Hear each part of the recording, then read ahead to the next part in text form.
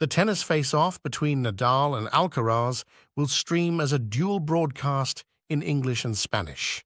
Tickets for the event start at $88.